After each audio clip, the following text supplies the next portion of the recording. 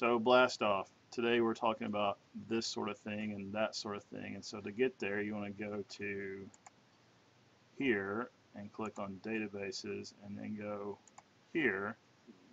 And then this will open a new tab for you. And then you're good to go and you're there. And then you just do alt